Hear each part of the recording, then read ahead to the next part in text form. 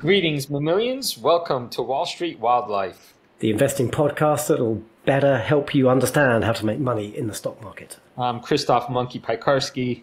And I'm a very happy new year, Luke the Badger Hallard. Today is December the 27th.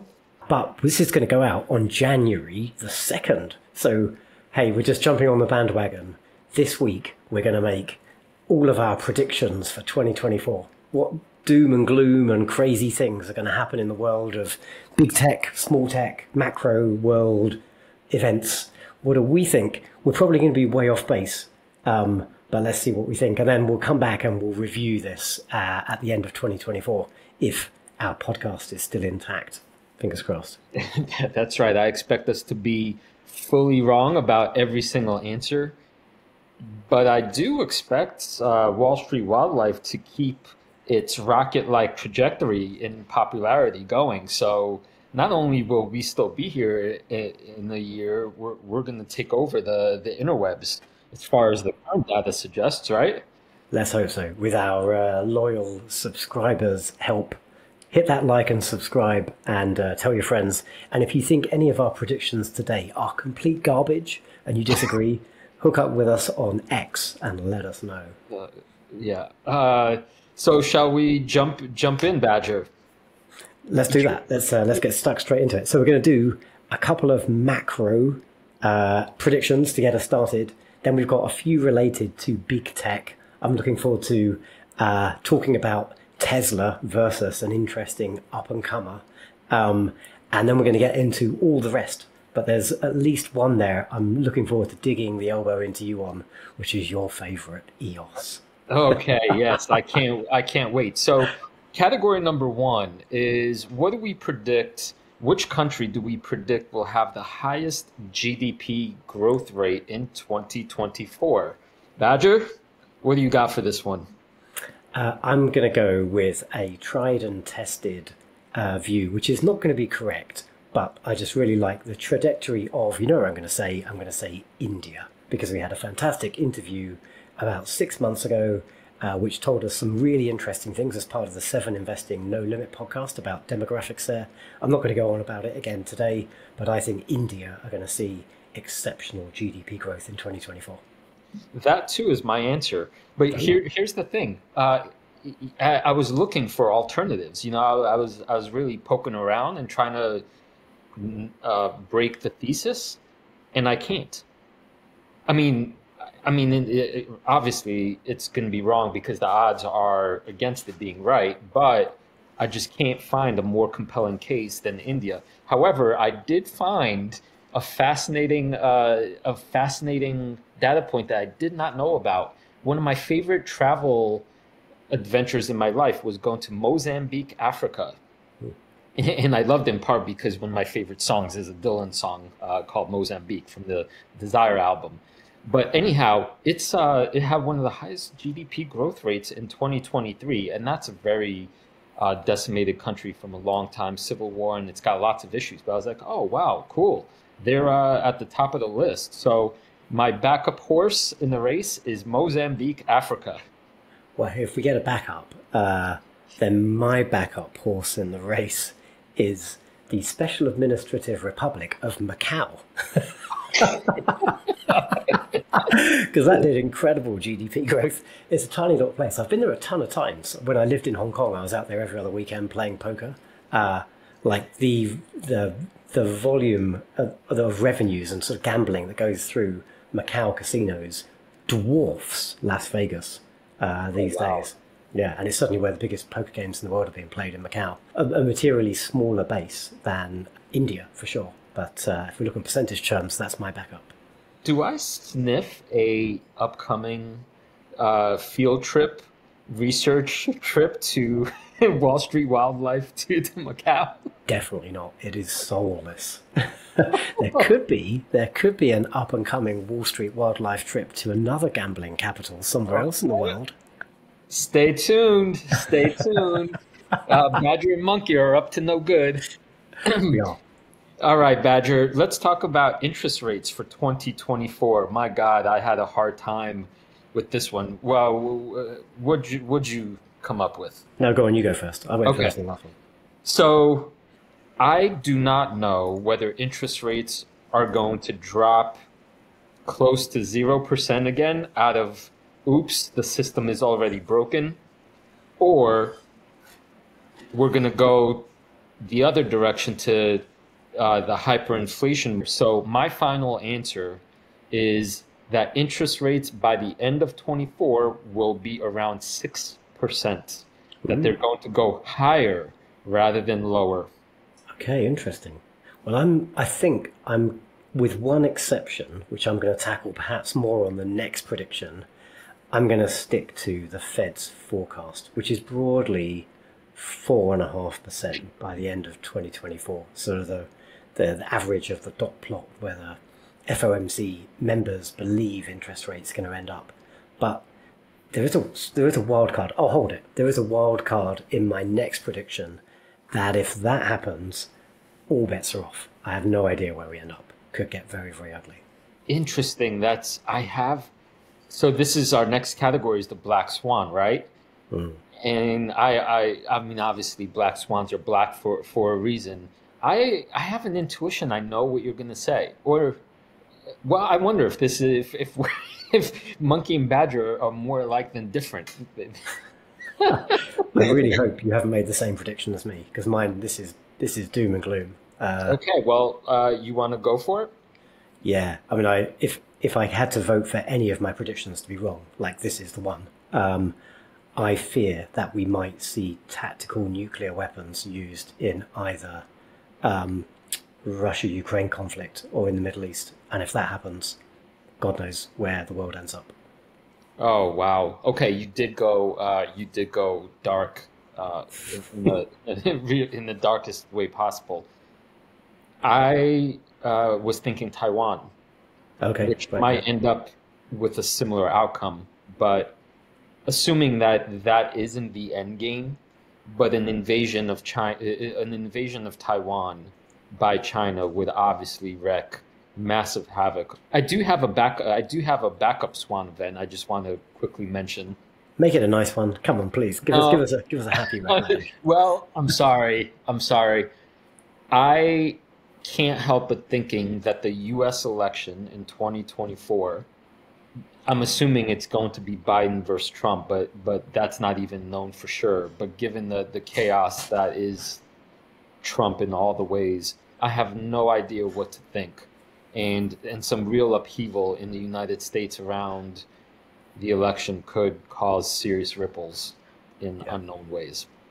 I, I, I thought of that, and I just thought I won't go there on politics. I've got some views, some fairly strongly held views, but probably not for the podcast. Um, there's, there's probably, to be honest, there's probably no good outcome from the uh, the U.S. election. It's just a, it's a like a shit show of bad choices, basically.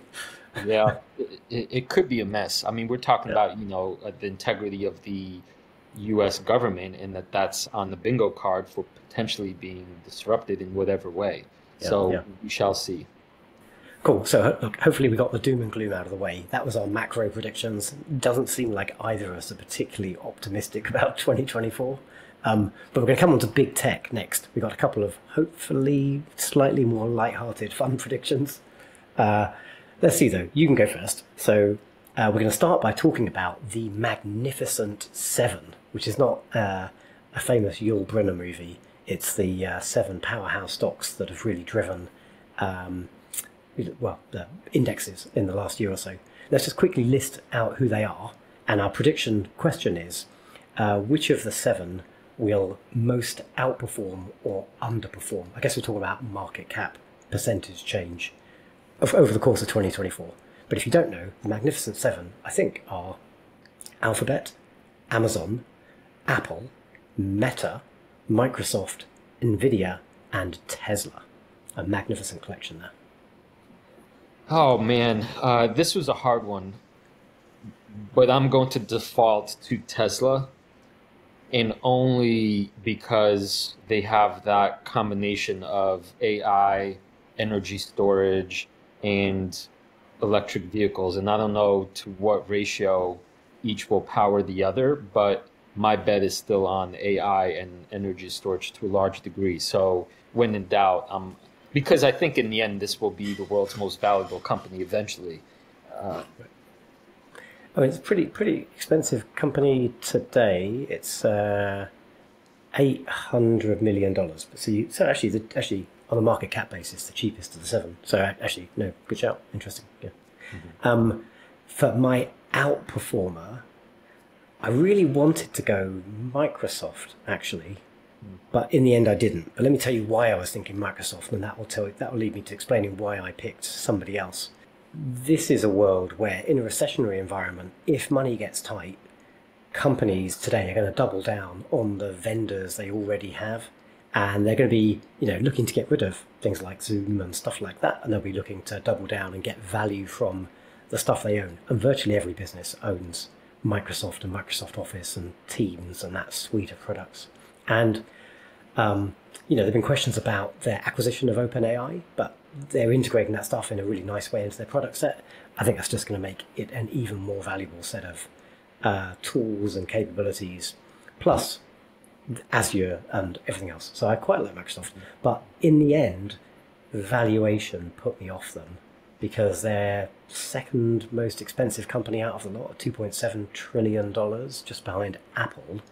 So, for all those reasons, um, I'm going with Google Alphabet as my biggest grower. And that makes me happy because that's one of the biggest positions in my personal portfolio. I'll be very happy to see them accelerate from what seems like a bargain stock valuation today of uh, $1.78 trillion. Pick up Google for less than $2 trillion seems like a steal. Yeah, that that makes sense. I was thinking about a little bit of the advertising tailwinds to go into 2024, but my bearish outfit made made it impossible to pick Google. So I'm going with what I think is the the, the biggest uh, tailwind of all AI and in energy. So, but I see your reasoning. So I, I think we could. I mean, a, a legitimate case could be made for all of these companies. Out of all of the Magnificent Seven, I don't think any of them would completely surprise me as the winner. Hmm. I mean, these are arguably seven of the strongest companies in the world today, right? You're expecting them all to do pretty well. Right. So I guess that's not saying anything interesting, but yeah. but we did. All did right. you uh, did you make a prediction on the weakest performer of the seven? I did not. I did I've not. got one. I think you'll probably agree with me. Let me make my one. So actually, I, am going to caveat this by still saying I own this and I think it's a buy at today's valuation. But my biggest underperformer of the seven is Nvidia. I'm afraid. Um, like it's an expensive stock, but there is just a ton built into that valuation, which you know has been driven by incredible results. But if they fail to meet these ever increasing expectations, even one quarter, then there's a lot of downside perhaps built into the valuation right now. Plus, everybody else is out there developing their own chips. You know, that's always been a kind of background concern. Plus, you know, maybe GPUs aren't the far future of AI. Maybe there's other ways of accelerating. So, yeah, I like this. It's in my portfolio. It's one of my higher conviction stocks, but possibly it's going to be the weaker of the seven for me. Yeah, that makes sense.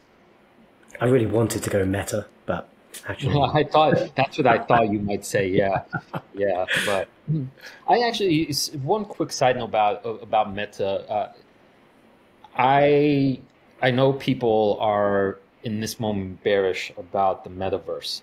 Hmm. I am not, and I think some of the previews that that I've seen make make it sound like the technology itself will be another leap forward to how humans interact, and and that the real product is is as far as I could tell beyond what we not having yet experienced it. It's going to offer us, yeah, I, I guess a revolutionary way to communicate that kind of like the pre-internet, post-internet era. And so I know Meta is the, the leader in that space. So I would not count them out for that reason itself. Yeah, I buy that. I buy that. I, I don't think we'll see that being anything significant from a revenue perspective in 2024, but long term, uh, you know, somewhere either they or Apple or somewhere in that space, we're going to start seeing, um, as you say, that revolution. But yeah. like, I, I don't really like the company if I'm honest, Meta, but they, they seem to be on a bit of a charge right now, and um, you know, just their advertising business is just fantastic for them. Plus, they've got a whole bunch of really interesting, like they're not lauded as an AI player, but they are doing some incredible things in AI around like science research and other stuff. Yeah, so that might be a 2025 pick. Maybe I'm getting ahead of myself a little bit. Yeah. Uh, speaking of getting ourselves getting ahead of ourselves, Tesla versus BYD. Ooh, yeah, BYD, build your dreams. The uh, Chinese auto manufacturer. Who'd you go with? Uh, oh, the, the, the setup here, uh, apologies. The setup is which of these two will have a higher re, uh, higher revenue? Yeah, higher revenues by the end of 2024. Uh, I'm going BYD. I think BYD are going to pip them. I kind of thought, given the, the you said that you came up with this question, I I'm going with Tesla. What's your rationale for BYD? Um, so if we're looking at global revenues, like global auto sales, um, so here's my here's my, if you look at actually just look at the trajectory of revenues, right? Tesla are only just outselling BYD today, something like ninety-six billion dollars versus eighty-two billion dollars um, on a trailing twelve-month basis, and from that t- slightly bit lower, but essentially the same revenue base, BYD uh, revenues are growing faster. Um, at 31% um, quarterly year over year growth versus 9%. So I do think they probably are going to pass them by the end of next year. But long term, my money's on Tesla. Um, but, you know, maybe Cybertruck, I don't know if that's going to be material, if that's just going to be a bit of a distraction for 2024. They've got some incredible stuff in the pipeline, but nothing that's really going to, you know, we're not going to have like Transformers and Autobots in our house in the next year, right? But some stuff like that. And I don't, I don't care if Musk makes another prediction about autonomous driving. Like that's not going to come true in 2024. Um, so all these, all these lovely future revenue streams that I'm sure Cathie Wood is a huge fan of. I don't think they're going to be material in 2024, but they will be one day. But BYD is my bet for next year. Okay. Uh, and I think uh, the energy the energy revenue will will be enough to support the ever expanding electric vehicle tidal wave, and Tesla makes the best electric vehicles in the world. So my thesis is pretty straightforward on this one. Hey, let me let me uh, back this up with some anecdotal comments as well, because uh, I've got a aging Tesla on the driveway, uh, one of the first Model Threes that was in the UK in 2019. I'm replacing it in 2024, um, and I was planning to test drive the BYD Seal, I think is sort of their equivalent car. But in the end, I've just gone, screw it, I'm just going to get another Tesla Model 3. I, I, can't be asked to even bother test driving the damn thing. right. it's, it's more expensive, and the, uh, the, the, specs perhaps aren't quite as attractive. And hey, maybe Tesla do figure out autopilot. and I'd love to pay for it again one day if they do crack it. Well, I, I mean, uh, uh I, my Tesla has the uh, autopilot, and uh, so I've been using it for the last, I guess, full year. It's been a full year. And, you know, when it works, it's absolutely astounding. It's just that the 1% it doesn't, it, you know, you can't ever relax. But, but it is one of the most mind blowing technologies that I've ever seen. And so it, it's, uh, it's garbage in the UK because, because of regulations, not because of the ah, technology. Uh, okay. It's, it's, okay. it's a gimmick. It's, it's a barely functional gimmick in the UK, if I'm honest. All right. So uh, the next topic is major news event in tech. What's the what are you predicting? I've got I've got something I've got I got an idea and I didn't know which way to go on it. Whether I should go with uh, so right. So the idea is around the regulation of big tech because we've seen a couple of headline news stories in the last couple of weeks. Uh, Adobe and Figma cancelling their acquisition Microsoft, I think, acquired um, uh, Activision Blizzard, but now the um, FTC have raised a, a post acquisition legal case again to challenge that. So they're going to try and unwind that acquisition. So I didn't know whether to go with like a complete overhaul of the regulatory bodies or a doubling down. And actually, when I did a bit of deeper research, it seems that, and I suppose I'm focusing on the FTC here, the US regulator, but um, you know, it's, it's all the other regulators too, the Competition Markets Authority in the UK and European regulators. Um, but the, if we just look at the FTC, they, they seem to have, the popular view is they seem to have, uh, they've become a bit toothless and they're taking, you know, loads of spurious actions against technology companies and they're being quite ineffective. But actually, it would seem that they're actually taking fewer enforcement actions in 2022, 2023 than they have done on average. Um, and so, but they're focusing on headline ones. And if we look at what just happened in the courts with Google and Epic Games, or Alphabet and Epic Games, um, it would seem that the courts are perhaps siding with um, or against the big tech platforms. So here's my, I've waffled a bit there. Here's my specific prediction that we will see a major unwinding of App Store dominance from mm. Alphabet and Apple.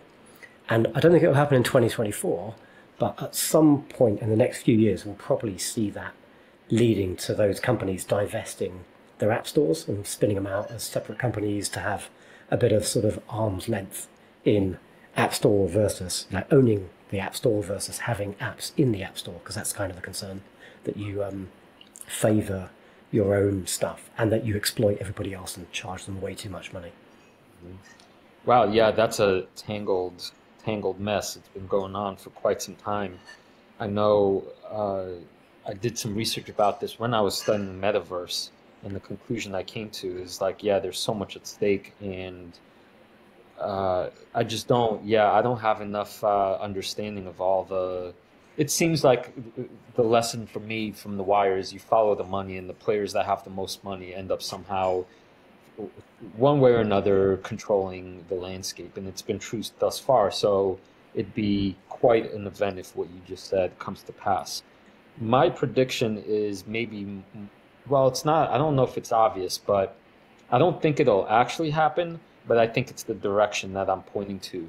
And that is that uh, AGI, artificial general intelligence, the the big mama, big papa of AI, will arrive much sooner than we think. And so I'm not saying it'll be next year. I really highly doubt that would be the case. But I'm employing the the the concept that exponential growth it happens way faster than we think, and that we're already on that curve. And based on the saga that came to pass with OpenAI, my conclusion from all of that was that the genie is out of the bottle. And once the genie is out of the bottle, there are no longer, I mean, you're going to have these squabbles, you're going to have these public uh, security warnings and but in the end it's it's a matter of when rather than if and we were already surprised last year, I think it was last November, at right, we're about a year, we're over a year since what I think of as the arrival of the spaceship AI for real in a way that is in everybody's home. So a year from now, the capa- so let me fine tune this prediction.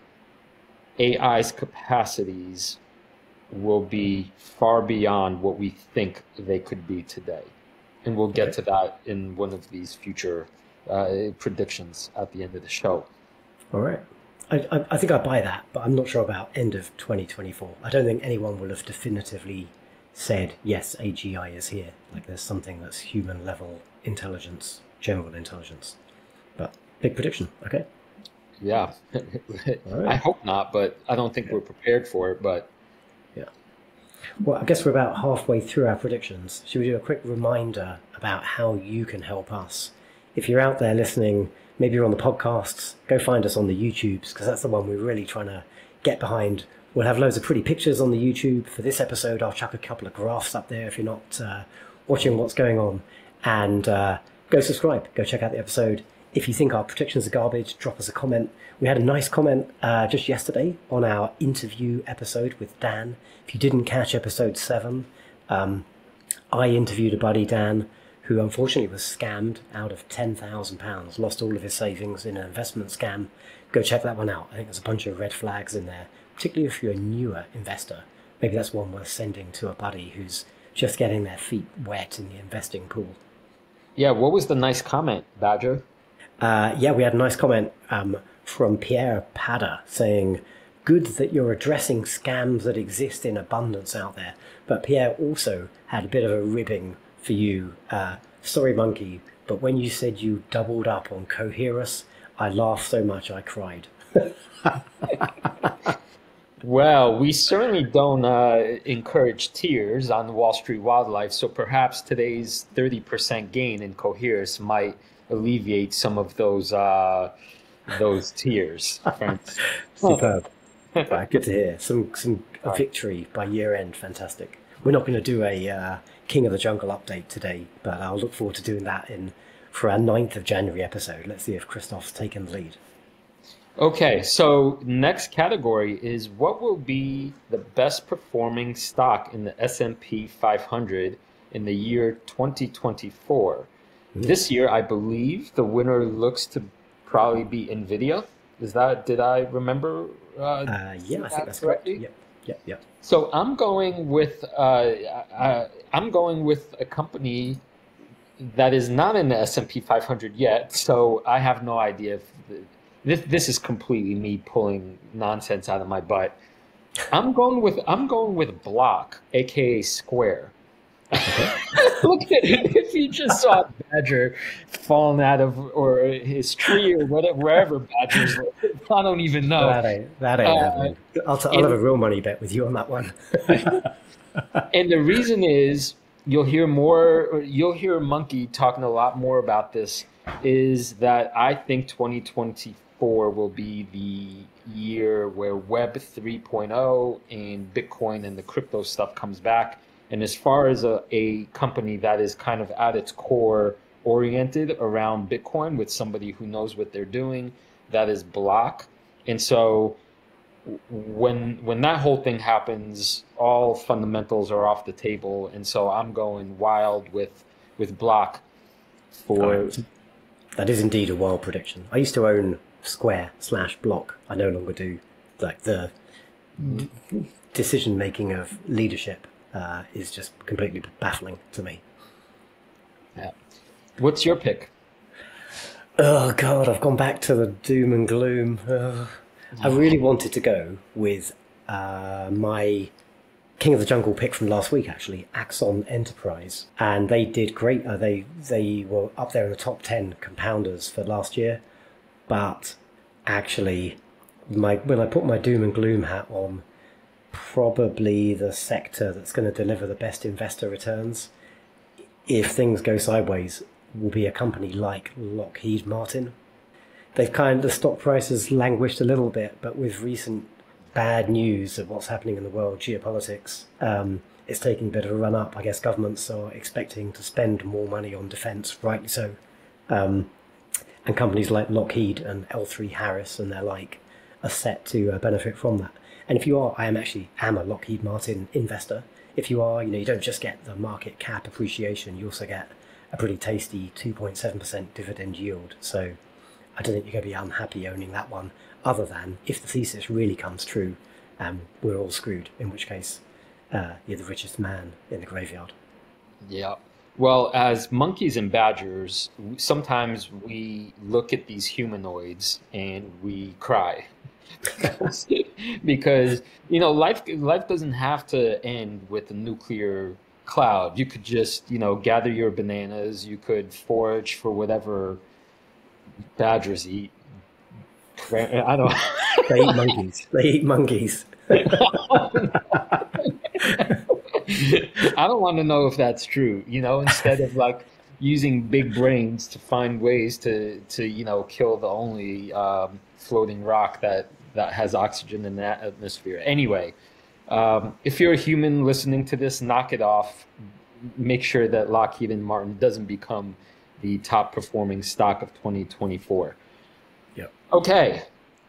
Next category. Broken thesis. Make a wild prediction on a major company failure for 2024. What did you I go with? I hate not to be original, but this is, I mean, we already, you already addressed this, so I won't be long-winded. If Taiwan comes to pass to any extent, uh, I think NVIDIA is in real trouble.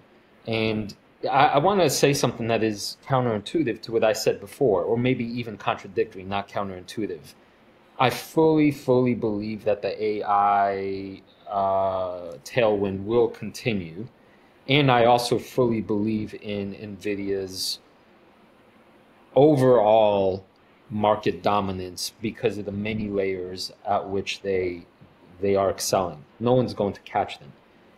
But if there's a bubble, it's the AI bubble, and that bubble right now feels extraordinarily precarious. And it could be something as simple as uh, what I would call saturation of the of the GPUs needed to be, so to speak, good enough. If we get a recession in there and all these, it just does not seem hard to see why why Nvidia could could fall fifty percent or more. Alrighty, yeah, that's that is that is consistent indeed. I, I thought about something similar, and I thought I'd just go in a totally different direction with this one. So I've kind of gamed this a little bit because my prediction is more of like a phoenix from the flames, perhaps, depending on how you look at corporate governance. Um, like we know, WeWork, the Adam Neumann company, is failing. Right, they've just declared bankruptcy, and they're you know they're doomed with all of these terrible, unprofitable leases, long-term leases they got on buildings. But like maybe this is or that that business model's time. Shared office space hybrid working is here for, here to stay undoubtedly now. Like we're long past the pandemic and many companies in the developed world are still largely hybrid working. And so having flexible office space makes a ton of sense. Um, so maybe I've so, yeah I haven't really gone with the who's going to fail. WeWork is clearly going to fail. But maybe the brand gets taken private, that the brand name itself still has some value. Like if you're not, as long as you're not a shareholder, probably very happy with WeWork. It's um, it's a great place to work, especially if you enjoy all the free booze. Um, and um, yeah, and there's there's probably some subset of profitable leases that they own, or even like newer ones that were renegotiated successfully. So I think a bit of a phoenix from the flames with WeWork, but yeah, the, the, the company as it exists today is almost certainly on a dead trajectory. Oh, fascinating. Okay, that, that's that's smart. Yeah. Do you dare go to the next one? What's the next question? I don't dare. I don't dare. Why don't you go first? Uh, so the question is uh, EOS Energy, which if you're a long time listener or even a recent listener of this podcast or our last podcast, you'll know has been Christoph's doom for, for much time. Yeah, I think the proper exact term is my albatross. It's, yeah, yeah. it's the if if you've ever read the rhyme of the ancient mariner by by Samuel Coleridge, you'll know that that bad things happen when when uh, when the albatross right. falls or whatever. So uh, it doomed me this this uh, beast of this beast. So um, Yeah, so we had to ask uh, about EOS. So the question was uh, the market cap of EOS today, or at least the other day when I did some research, was about $220 million. It's a pretty small, tiny cap. Um, the question was where will the market cap be at the end of 2024, assuming the company even still exists? So uh, I, I think they're on a waning trajectory, I'm afraid. I, I don't think they're dead and gone by the end of 2024. That's too soon. Um, but I'm I'm going to stick a pin in the ground and say the market cap is hundred million dollars, about half of where it is by this time next year. Interesting. I went the other way. Oh, no doubt. And not and and and really, I really don't think this is bias anymore. I, I, I've suffered so long. Uh, you know, the last thing I, I want is, you know, I kind I think I freed myself. And if you listen to the conversation with Mr. Not Advice when we did the strategic call, check that out. It was a bonus episode. Uh, I think you could hear how I think clear eyed I was about the financial distress this company is in. However, I've continued to follow it very closely. As far as I could tell, the automated automated line will be installed sometime mid-year, and that is when these batteries will start getting produced. And from the market cap where it's at, where it's still being priced as though it's not going to ever make anything, the physical manufacturing of these batteries on top of some big orders coming through will push this market cap over 3x from where we are now. So I'm expecting somewhere between 750 million and a 1 billion dollar market cap uh, which would for, for investors still holding on would would have uh, made the pain all worth it that's if if with a big condition if the sky doesn't fall and everything collapses which i think there's a good chance of that happening so it's kind of a 50-50 situation Great. I hope you. I hope you win that one. Uh, I don't want to see Oh, you. okay. Thanks, Um, buddy. so that I have some pocket change you could steal Yeah. from me uh, when we sit across one another at the tables one of these days. That's kind of you. That's very. That's very generous. We uh, we were we were chatting about an upcoming episode and maybe meeting at a certain place in the world and having a lot of fun and doing some kind of big event. And uh, Christoph has said he's not not sure he can afford to do the big event, the, marquee event, because of damn EOS. So screw that company. It could be costing me a uh, major night out. Ah, okay. The next to last category is Bitcoin. What price will it end at the end of 2023, Badger? Currently, Uh, it's uh, about 43,000. 42, it's bouncing between 42, 43,000. So it's had a, a, a major spike. It's been on a major bullish run as of uh, the last couple of months. The bull cycle seems to have returned. What do you think? You going high or Uh, so, I'm not a Bitcoin guy. I, I, sort of am a crypto guy. I've got some Ethereum and some other altcoins. I'm not really a Bitcoin fan, other than you know it's the it's the most widely used. I don't think any of this stuff becomes, um, you know, other than in like weird places like Brazil where they have these experiments. I don't think anything like this becomes actual formal currency in, in the, anywhere in the world. Um, and there are some things happening with Bitcoin, but I'm just going to sit on the fence with this one. I'm going to say it's going to be exactly the same dollar number in a year's time, no movement. If we move like that, but it'll finish up in the same place.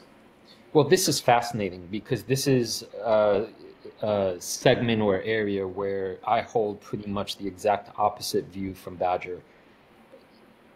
I've been studying the space for quite some time, and, and without turning this into a Bitcoin lecture, I think some of the things you just said are um, they're they're born from I guess the more pop culture understanding of it uh, rather than maybe some of the deeper fundamentals. And I, I hope to do an episode down the road where maybe we dive real deep into what is this stuff, especially because some of the stock picks I'll be making in the near future are revolve around this whole industry. But I am much much more.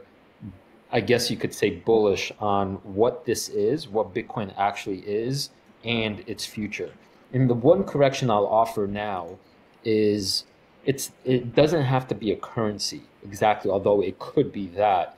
It's it's something different. I think Bitcoin is more and more on its way to replacing gold as the fundamental meaning of money. And this is where nuances get you know come in. Money and currencies are a different thing. And so as the network grows, what you need is well actually so i'll stop i'll, I'll pause myself there and so i've become more and more bullish with time and i think we're going to see a 1x from today's prices so i'm calling uh, something like an $80000 level bitcoin 365 days from today Okay, I firmly got the under on that. uh, i'm sorry say that again Oh, I've, uh, I've, I've firmly taken the under on that. I'm, Yes. I'm pretty, I'm pretty confident we won't see a doubling in Bitcoin's market cap or um, the value, the cost of a Bitcoin. Yeah. Okay, we shall see. Yeah, this is this is one of the yeah we hold we hold completely uh, divergent views here. I can't I can't wait to uh, explain to you why why you're wrong. Good stuff. I look forward to the lecture. Our final prediction, or, or what you think it will be possible to do with AI. So I think the parameters here were speculate on progress in AI in 2024 and make a prediction about what it will be possible for the average person to do with AI at modest cost in a year's time. I think this is a great question to, to think through. And I was surprised by my answer. I was surprised a little bit by my answer. And I had to really reflect on my own journey with this stuff so far in its first year. So I want to tie this in with my previous answer that I think AGI will be here sooner than we think, but we don't need to get there for for what I'm about to say to make sense. From what we already see AI being capable of today, without whatever upcoming advances we'll see unveiled throughout the year. What struck me is that it seems it is now possible for any one person as a solo entrepreneur entrepreneur to run their business basically from bottom up without hiring all the necessary staff that used to be necessary for any kind of operation that had any kind of size that now anybody that's willing to study the tools and learn i guess about all the all the um, yeah all the tools available to them that they could essentially they have an accountant they have a graphic designer in-house they have a strategic advisor, they have a CFO. They basically have, we now have everything we need. So if you have an internet connection and a little bit of, I guess you could call perseverance and grit and all those entrepreneurial characteristics, you could probably, with enough diligence, run a successful business without hiring anybody. So my, uh, I mean, maybe that doesn't. I don't know. uh, Maybe that doesn't sound sound wild and crazy. So I want to emphasize that the that it's not that any my my claim is it's not that anybody could now run a business. It's that you could do it alone. Yeah, cool. Okay, yeah. Uh, we're definitely seeing um, that get chipped away at, and that's definitely true today in some respects. But still, that's a long journey to get to literally running like a medium-sized enterprise as a solopreneur. So, um, yeah, that'd be interesting. That's a, that's a good one. That, that offsets a lot of the doom and gloom around uh, bad things happening in the world. Uh, my my prediction is much smaller. I feel a bit embarrassed for making it now, then, compared to your grand one. Um, but I try to I try and be really specific. So uh, I think it'll be possible with like the latest beta versions of proper personal digital assistants on a mobile device to literally have like a fully enabled virtual PA for anybody to have that some some entity that can you know ma- read your calendar, read your email, look at your messages, and then give you the base essentially a pretty comprehensive service you would get from a human PA today. So to make it specific, like if you no one loves it, but the cutting edge of uh, setting up meetings, what a tedious thing, is Calendly. Like no one, everyone hates that because you're putting the onus on the other person. You send out this impersonal link to find space in your own calendar. Like the specific prediction is that um, uh, if you and I want a meeting, we'll just say that in an email, and then our AIs will talk to each other if we're both on compatible platforms, which we will be, uh, and that will just get scheduled for us with all the other stuff we need, like Zoom links or Riverside links, and and all the supporting materials and background notes for that meeting. It's crazy. It's it. I don't think uh, I've wrapped my mind around yet what's what's happening because it, it's if you I don't know if your experience was like Mind Badger, but I all year long I continued trying to follow the space, and it seemed like every single week some new development that was like, oh my god, I can't believe that's possible now, and that's possible.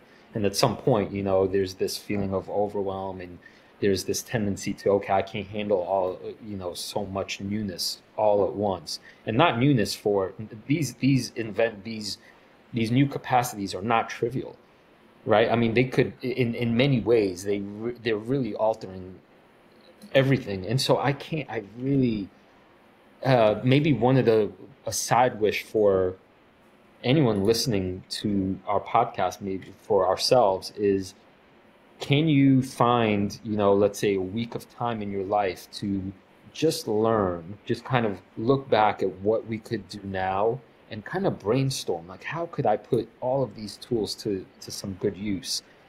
And i think uh, everyone would be i mean who who has mastered all of these tools? They, nobody right? I mean this is this is bleeding edge stuff and it really does feel like we're back in 1999 where the visionaries were thinking, what could this internet thing do?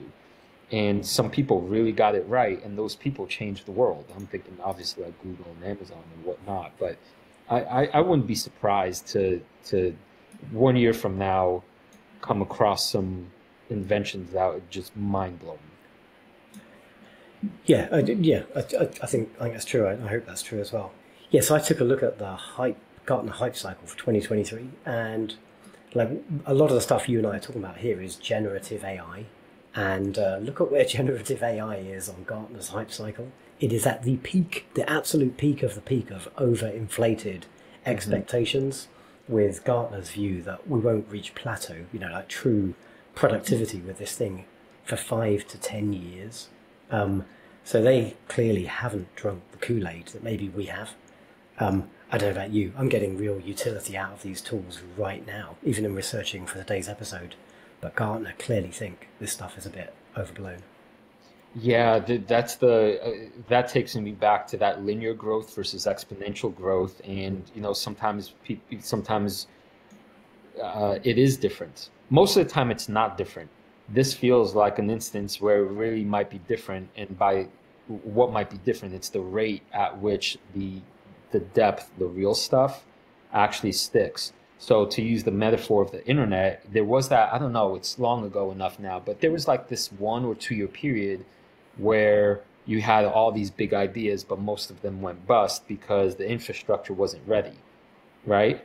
But the internet, of course, became what, what it, like the idea was not wrong, it was just early, but the computing power was not sufficient to, you know, carry it all out we now have we're living right in an era of GPUs, and so the rate I think of adoption will be much higher. Yeah, yeah, I, I think we're right on this one, not Gartner. Let's see. So, listeners, I hope uh, this uh, 23, end of 23, beginning of 24 prediction episode filled you with some gnarly ideas of your own. And we would love it if you could hop on the X, hop on the Twitter channel. I'm sorry, hop on the YouTube channel, and wherever you're finding us, and maybe uh, critique something that we've said or offer one of your suggestions that we've been blind to. We would absolutely love a little bit of participation and hear back from you about what struck you as the most uh, foolhardy, most interesting, most benighted, and most overlooked. And, and if you want to make a specific, really specific prediction, um, over at Seven Investing, starting in early January, we'll be running a top stock for 2024 competition. So if you're not following Seven Investing on X, go do that and then go have your vote for your top stock for 2024. And there are prizes. Our founder, CEO Simon Erickson is giving away swag and value if you get the right top stock. Yes, make sure, right. And so uh, as Badger asked politely before, please click that subscribe button. Maybe uh, I think we're approaching hundred subscribers, right? So we're, we're right. We're, we're, we're, getting there. Maybe for our hundredth subscriber, uh, we could. What could we do? We could send them. I could send them a, a, a banana. Is that allowed? I don't think you can export bananas without certain licenses. we'll All send right. you a uh, Christoph will send you like a, a personalized video of uh, eating banana. that's that's right, or Satoshi. So anyway, uh, it, or maybe it's just uh, do it out of pride. Do it, you know, do it for that sense of well-being you would no doubt achieve becoming the hundredth subscriber. Uh, and when we're at several million, you know, two years from now, you'll you'll you'll officially have that OG badge to wear and, and show off proudly. For real. And hopefully, if you've been following our King of the Jungle stock challenge, then you know hopefully it's not just your bananas that have compounded over uh, those years. If you stick with us along this long journey, because we're both battling away to try and beat each other in our one-year contest, but that's just the first step on a, a, a lifetime journey of being an investor. This is both of our 20th year plus of investing for ourselves, um, but the first time, first year doing it very publicly with a uh, public stock portfolio. So go check out wallstreetwildlife.com. You can see our top stock picks right now, and you can see who's faring best in the uh, Badger versus Monkey Challenge. Yep, check it out. And you could find us uh, on X, um, Seven Flying Platypus. And I'm at Seven Luke Hallard. And may this forthcoming year be filled with joy and peace and all kinds of blessings to everyone. For real. Are you ready to become a beast of an investor? Your journey starts here. Rawr.